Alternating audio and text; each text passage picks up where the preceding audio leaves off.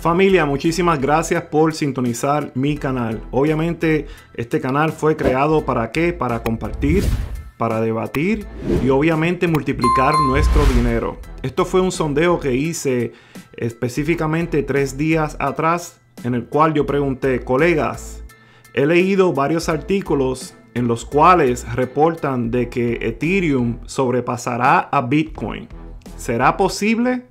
¿Qué ustedes opinan? 64 personas participaron, en el cual el 38% dijo de que sí va a suceder.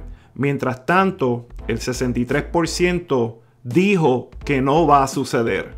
Observen qué cosa tan brutal que luego de tres días atrás de yo hacer el sondeo, dos días después, sale un artículo en el Daily Huddle donde el creador de Cardano, Charles Hoskinson, predice el resultado de la batalla entre Bitcoin y Ethereum. Siempre tenemos que poseer una conducta imparcial.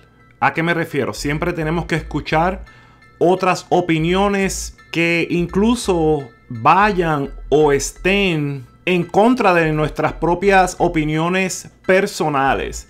Y por eso es que me gusta compartir y crear este segmento que yo le llamo Noti Inversiones. Yo siempre leo sus comentarios y me nutro de los comentarios que ustedes comparten porque a veces van en contra de lo que yo pienso y como quiera yo utilizo sus comentarios para poder hacer el ejercicio de reevaluar mi posición para ver si estoy correcto o no. Siempre hay que tener esa mentalidad de ser imparcial. Y por esa gran razón decidí compartir con todos ustedes este estupendo artículo de el Daily Huddle. Y es donde el fundador de Cardano, Charles Hoskinson, dice su opinión y tenemos que, leerla, tenemos que eh, juzgarla, porque él tiene varios puntos que sí tienen sentido. Y miren, vamos a enfocarnos en este rectángulo verde porque vamos a estar desglosando, vamos a estar analizando su punto de vista en cuanto a la batalla entre Bitcoin y Ethereum. Miren lo que dice esta primera oración. Esta primera oración lo que dice es básicamente que él piensa que Bitcoin no está equipado para poder sobrevivir una batalla de uno a uno contra Ethereum. Y también él dice de que Bitcoin es un producto increíble, pero de primera generación. No sé si ustedes han escuchado o han leído otros artículos donde él dice de que Ethereum es un producto de segunda generación y donde Cardano es un producto de tercera generación. Él es bien, bien inteligente de cómo él comparte sus comentarios, sus puntos de vista y me gusta cómo él utiliza el juego de palabras bien, bien acomodadas como de primera generación, segunda generación y tercera generación para minimizar proyectos. Él es bien inteligente y, de ahí obviamente uno aprende a cómo poder dirigirse a otras personas para, poder convencerlos, persuadirlos o hacerlos entrar en, realidad. A veces personas que no quieren entender ciertos puntos, ¿verdad? Miren lo que él dice. Él dice que, oh sí, Bitcoin es un producto increíble de primera generación, pero se está volviendo primitivo. Wow, miren la palabra que él usa. Primitivo cuando lo comparamos con otras criptomonedas que son más nuevas que el mismo Bitcoin. Si pensaron de que él había terminado luego de haber dicho de que Bitcoin era primitivo, de que era un producto de primera generación, ahora él entra en la problemática que él ve con Bitcoin. Y este primer párrafo, esto es lo que dice. Dice, el problema con Bitcoin es, es que es tan lento que es como la programación de mainframe del pasado. La única razón por la cual Bitcoin todavía está disponible es porque se invirtió tanto en mantenerlo que tenemos que dejarlo allí. ¡Wow! Y decir un día el lenguaje de la computadora COBOL morirá. Él también dice en este pedacito de aquí, él dice, existen mejoras fundamentales que convertirán a Bitcoin en un sistema competitivo en su opinión. él está diciendo que en la actualidad Bitcoin no es competitivo, que él puede hacer otras mejoras fundamentales para que Bitcoin pueda ser competitivo. ¡Wow!